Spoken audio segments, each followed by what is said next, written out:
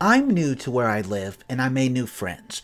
I got along really well with this one particular girl, and over the next couple of weeks, we become best friends.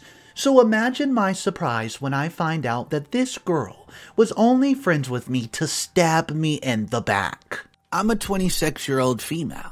I've been working as a freelance writer since I left university, and I enjoy my work. By the way, all names are changed here to protect my identity. It does get stressful at times enjoying work. I've wanted to be a writer ever since I was a small child, and I needed something to pay the bills, whilst I worked on my own manuscript. I've been working on my own novel for a while now, and I'm happy with how it's going. It's a work of love. It's almost at the stage to go to publishers, and it is exciting. Or at least it should have been. However, I've been betrayed by someone who I trusted and I loved like a sister, and I'm just not sure what to do. I met Lisa, female 30, while I was working on a project for my current publisher, Mr. Jacobs. He works with people who are well known to the general public and have dreams of being a writer to add to their already abundant wealth, I suppose. A lot of these people write children's stories. Well, I say they do, but in reality, I write the stories. Mr. Jacob just publishes them, and the well-known personality, it gets their name put on it. Lisa is a proofreader, and she would do her things once my story was done and sent to Mr. Jacobs. Well, there's a lot of work involved so that some famous people can just sit in a bookshop, sign copies of their children's stories for their fans, a couple times, I went to have them sign a book just for the fun of it, knowing full well that they would have no idea what they have just signed a book for the person who really wrote the story. I guess you could say that makes me a little petty. Anyways, Lisa and I emailed a few times through work and got chatting about books in general. It turned out we loved the same type of novels, and Lisa mentioned that she was part of a local book group. We met up about once a week just to discuss a novel that they were reading. She invited me to join. Well, I went along. We've been friends ever since, you could say. We began to meet for coffee or lunch and just regularly plan stuff throughout the week, and we talk about our lives and other plans. I told her about my novel, which at the time was in its very early stages, and she offered to proofread it for me. I was happy to take her up on that and offered to pay her. Lisa said that she would not accept payments as friends help each other out, and if I wanted to thank her, I could name a character after her or something. She said it while laughing, so I was not sure if she was being serious or not. Time passed and our friendship did grow, and life was pretty good. I met my partner Matt, who worked for a media firm, and we started dating eight months ago. I've never met someone like him who I felt so at ease with so quickly. He's everything I would have wanted in a man, and he's gorgeous as well, so a lot of people consider me lucky. I met him through Mr. Jacobs, who seems to play a huge part in my social and love life, it seems. Matt does all the work to get the books known and out there, and also loves literature like I do. I invited him to join the book group, and he fit right in with us. Work in the freelance world has slowed down a little due to the cost of the living crisis that was happening all around the world, and I was able to focus on my own manuscript for a while. I worked solidly on that for weeks with little interruption, and it got to the stage where I was happy for it to go to the first read for Mr. Jacobs. That might be before I was going to send it. I went for a meal with Matt and Lisa and told them how excited I was that I thought the manuscript was ready for its first edit. Matt had known I've been working flat on it, and so it was less of a surprise to him than it was to Lisa. On the outside, she looked really happy and excited. She said maybe before we sent it, she should have a run through for the proofreading, as it would potentially save time later on with editing. Also, if she looked at it before I sent it to Mr. Jacobs, I would not be charged, as she was doing it for a friend, but once it went through him, I would have to go on his bill. Naively, I thought it was a great idea. The night when we got home, I emailed the manuscript over to Lisa and she replied telling me to give her a week she would have the whole thing fully proofread and edited. I was really happy and sent her a brief email to Mr. Jacobs, saying that I should have the first draft of the manuscript ready to send him in about a week. That being done, I started to work on some freelance projects that he had sent me, and waited for Lisa to send me the proofread manuscript back over to me. Well, it never came. Lisa betrayed me in a way I could never have expected, and I'm still trying to understand what possessed her to do what she did. And the week that Lisa was supposed to be proofreading my manuscript, she actually sent it to a publishing house called Paxton as her own work. Paxton's notorious in the writing world for not caring about what they publish, and in the past they've had issues with plagiarism and stories that are too similar to already published works. Last year they went viral for publishing a story that was called The Prince of the Rings, and I think you can guess what it was about. I've still not received a manuscript back from Lisa over a week later, and I've been messaging and calling only to get told that she's sorry. She's been busy and would be ready for it soon. I did not push much, as she was doing the work as a favor, and a few more days or a week didn't really make much of a difference, did it? I only knew that something had gone wrong when Matt called me from work, said he needed to talk to me urgently. I was worried as I thought he wanted to end our relationship due to how serious his voice was. He asked me to come to his office, which was strange, but I dutifully went over and what he showed me knocked me sick. Matt's firm got lists of books from all publishers that are about to be published, and he had recognized one of the titles and names of the list sent from Paxton. On the list was my novel, but next to it was Lisa's name. The book had already been put in production and was listed for release soon. I sunk in the chair next to Matt's desk, not trusting my eyes. I know it's been a mistake. There was no way my best friend would have done this to me. I tried to find a logical explanation for it, but there was nothing. I had to face the facts. The person I thought was my best friend had stolen my manuscript and published it through a dodgy publication house before I've even been able to get it registered under my name with Mr. Jacobs. I desperately called and messaged Lisa asking what has she done, but there's no reply. I don't know what to do. I've lost everything I've worked so hard for over the last few years and been betrayed by someone I literally loved as a sister. I need to think and get some advice, but if anyone has any ideas, please send me a message. I'm desperate, and honestly, I'm heartbroken. What's up, everybody? Mr. Reddito here. So this story has a couple more updates. I hope everyone's having a fantastic day. Let's go ahead and see what the heck's going up with OP's best friend. Update number one. I wrote the first part of this when I was in a bad place, as I've just found out what happened and I wish I could say that things have improved, but they have not. Lisa did not show up for the book group or reply to any of my messages and all the intents and purposes disappeared from my life. I talked to Mr. Jacobs and explained what happened. He was shocked as Lisa had worked for him as long as I had, and he would never have thought she was capable of stealing from me. Well, Matt was absolutely furious, and he wanted to out her as a phony right away.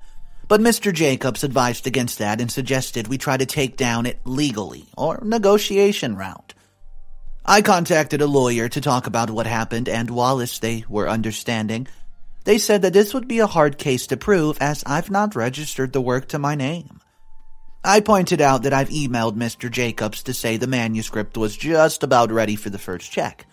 But my lawyers pointed out that in the correspondence there's no official mention that I would be publishing it in my name.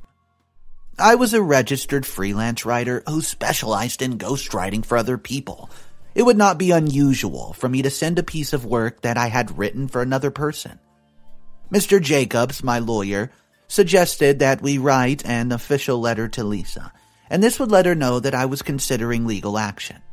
That in itself might be enough to make her back down, stop the book from hitting the shops. So we sent the letter, which basically said that as the real author of the manuscript, I was asking that she did the right thing, withdraw the book from publication under her name, and return ownership for my publication under my name. I really hope that Lisa would see that she's acted so despicably and come to her senses. I mean, we've been friends for so long. I was shocked that she'd even think to do this. I kept trying to tell myself that there's a logical reason, and she would see that she's wrong. Against the advice of my lawyer, Matt, and Mr. Jacobs, I also sent Lisa a really long email appealing to her to see sense. I begged her to talk to me and tell me why she's done this and that I was sure we could find a solution. I told her I valued her friendship and I would not hold this against her if she just made this right. I was sure, actually, in time, we could be able to be close again like we were. Matt said I was too nice, and he could not understand why I would still want to be friends with the woman who betrayed me. I've always been a forgiving person, and I think at times people just take advantage of that. Both letters were sent out yesterday, and now all I can do is wait and see what happens. This is all in Lisa's hands for now. If she does not reply or if she refuses to see sense, I'll have to take this further. But I'm praying that it'll not come to that. I'll update again once I hear, and thank you to anyone who's offered me advice in the comments. At the moment, I'm remaining anonymous, but maybe, once this is all over, I'll let people know who I am. Update number two.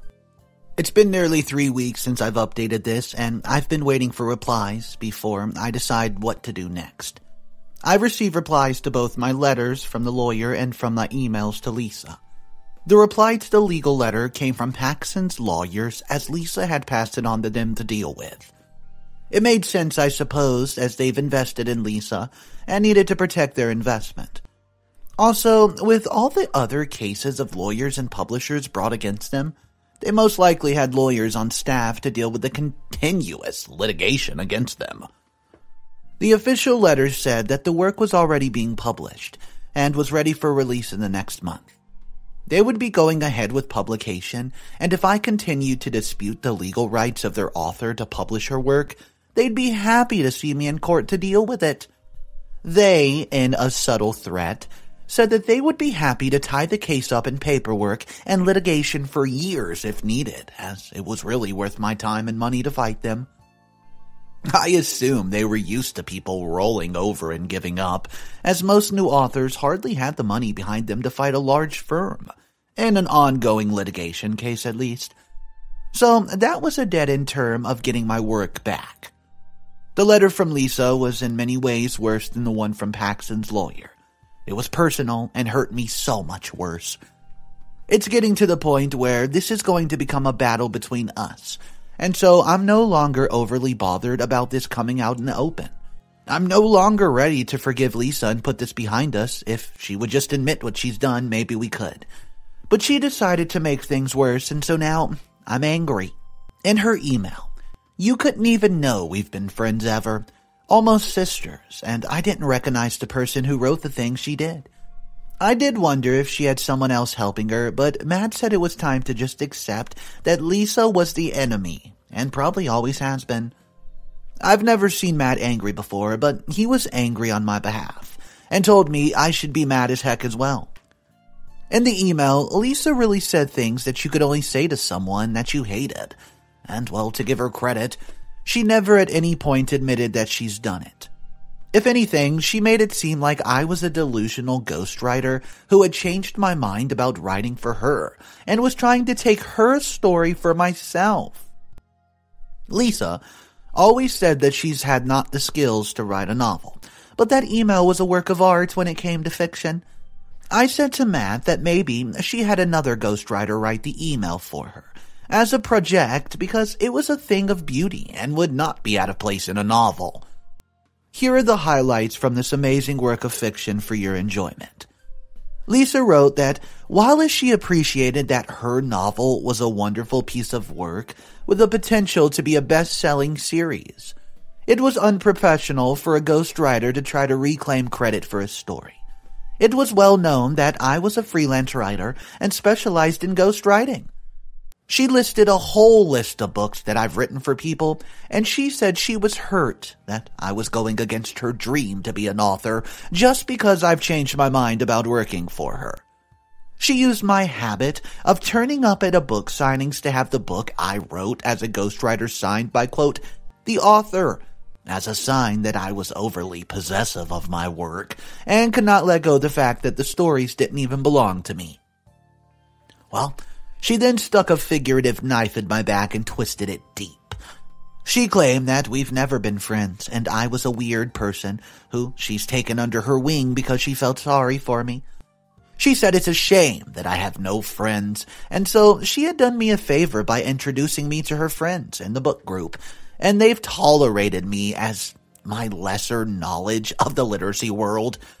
She ended the email by saying that if I continued to contact her outside of Paxson's or her lawyer, she could contact the police and report me for stalking, even harassment.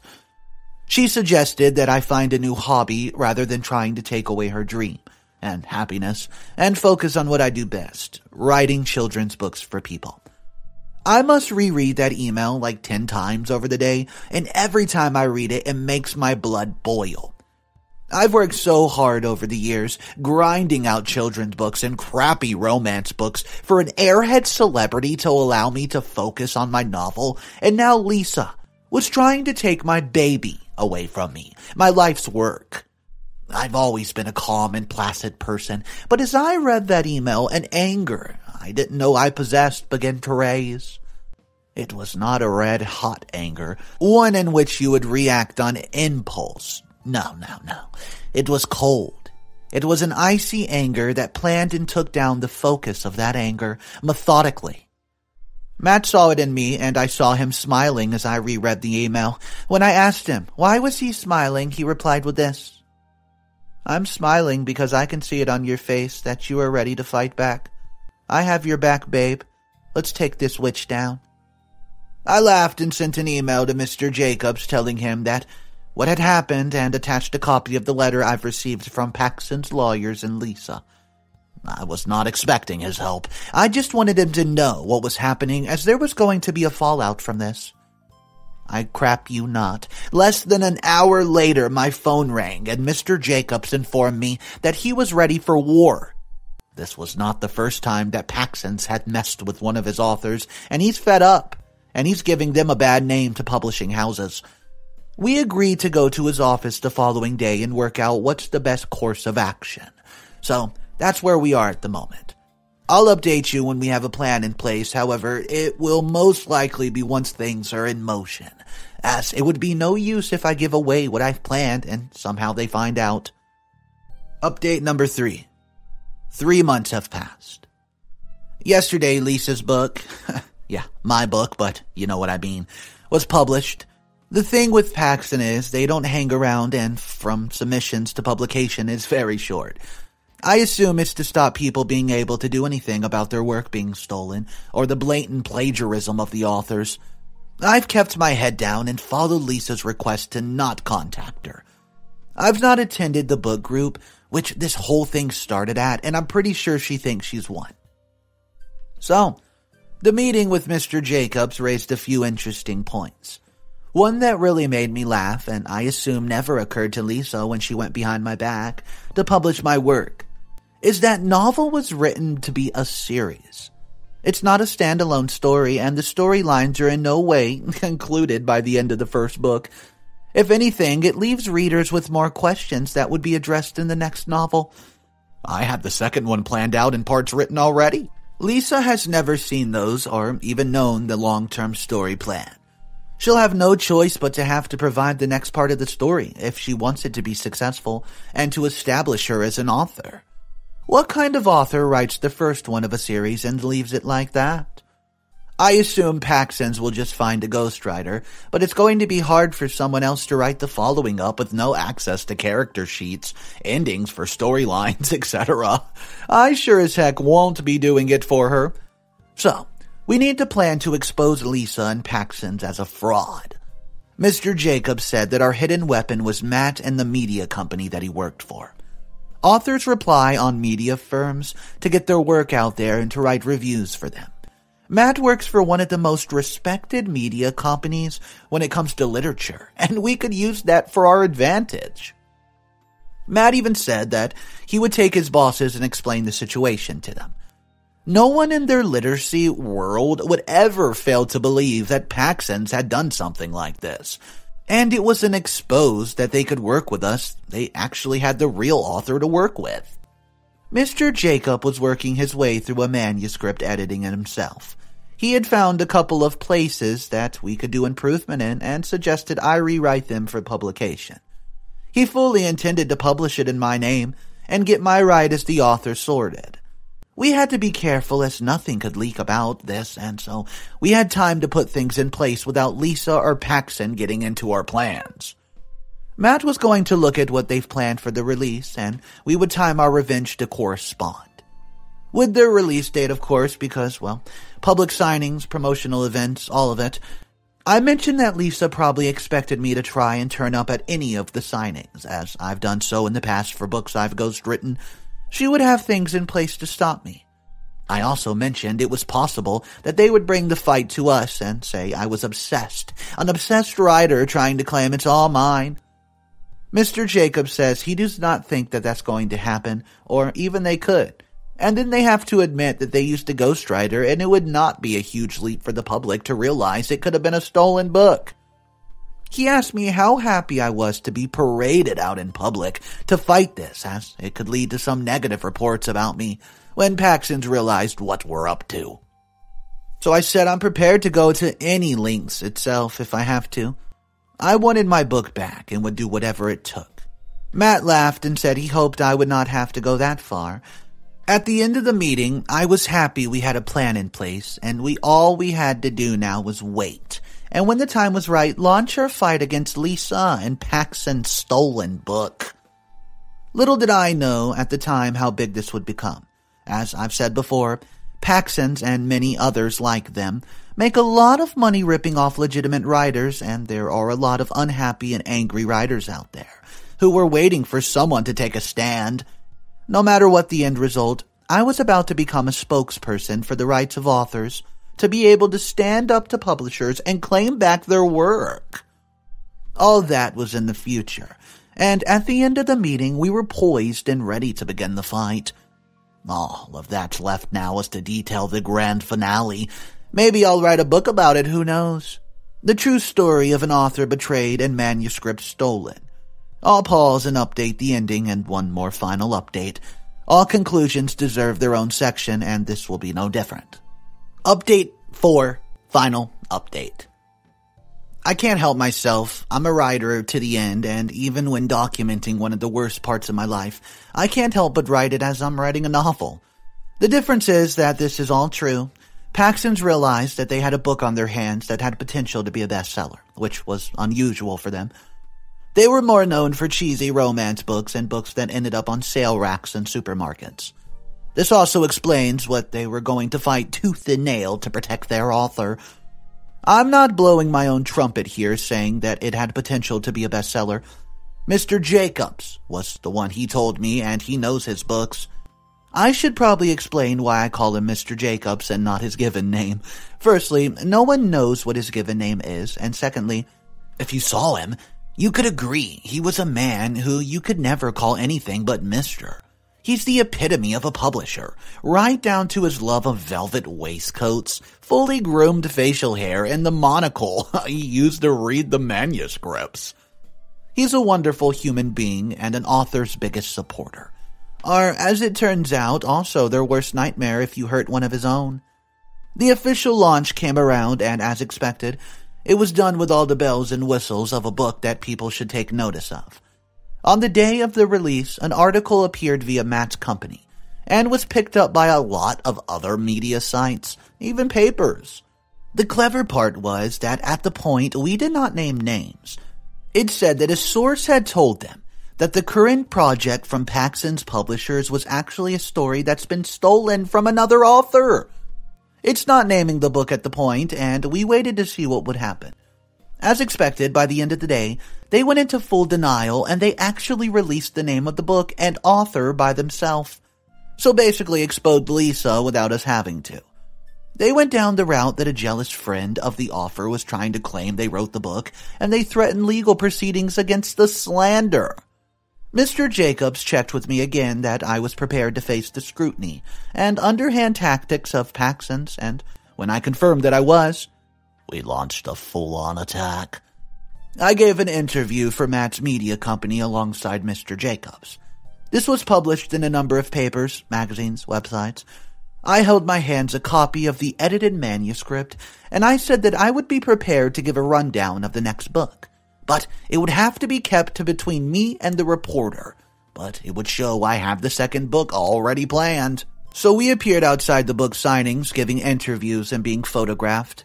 And I made an offer to Lisa and Paxsons to join me on television, just to debate the story, the characters, see who knows them the best.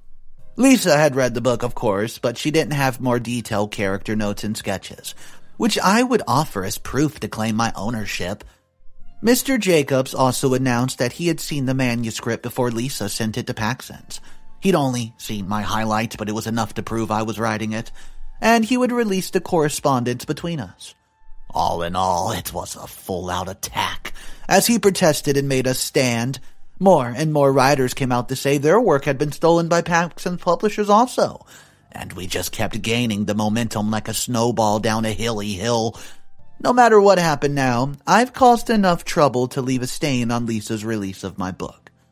This did go on for two weeks, and we had letters from their lawyers threatening us if we did not stop. I wasn't on my own, though. I had the power of Mr. Jacobs' lawyers behind me and they wrote back saying that they would be filing papers against the publishing house and Lisa in the near future if they did not renounce their claim to my story and recall all unsold copies of the book. They must also release a statement admitting that Lisa was not the author, and any proceeds must be signed over to me immediately. Unfortunately, some books have sold, but I wasn't worried as I would relaunch it and hopefully people would buy my version, which would also come with new material. In the end, Paxsons folded like a house of cards and turned on Lisa like cowards and cheats that they were. They released a statement saying that they had no idea that the book was stolen, and now that they've been made aware, they were fully withdrawing the book from circulation, signing the rights over to the real author. I made a statement saying that I was grateful for all their support, and for anyone who would have already bought the book, I would gladly swap it for the real version once it's in print for free. Or you can even sell my copy to anyone with a fake copy for a reduced price if they wish to keep both. In the end, it did not matter as I'd written both of them anyways. Lisa, she's ruined. She literally lost all credibility, and her career as a proofreader is over. No one will ever trust a proofreader who has stolen someone's manuscript. The publishing house dropped her and she could not get work. Her friends started to ignore her phone calls and she was banned from the book group. We'll be reviewing the two versions of the book at some point in the group, which will be fun. The last I heard, Lisa had moved across the country to stay with her parents and she's unemployed. And I wish I could say I feel sorry for her, but honestly, I don't. Mr. Jacobs released my book and we added extras to it to make it special for anyone who was also fooled by Lisa. It had a character artwork, backstories, etc. It was fabulous and everything I dreamt of. I'm currently working away on book number two and doing interviews and attending conventions. Guys, I'm actually living the life. So that's it. That's the story about how a thief got her comeuppance. Paxsons are still in business, but their reputation did take a hit, and it seems like only a matter of time until they're done, too, as people are looking very closely at their publishing record. All in all, I'm a happy girl. Well, this was a very bad situation for OP to be in, but I'll be honest with you guys. I don't know what her friend was thinking. There's basically no way to get away with this. She had to have known that OP was going to come at her with everything she has. Maybe she was hoping that she wouldn't go to this extent and just forget about it and say, you know what, you can have the story. But I do want to know what you guys thought about this. Drop your comments down below. Let me know your exact thoughts. Or maybe you've known another person that used to be your friend who backstabbed you the same way. Let me know your thoughts about this, guys drop it in the comment section. That's all the content for today. Thank you so much for joining in. If you want to, subscribe to the channel for more daily videos.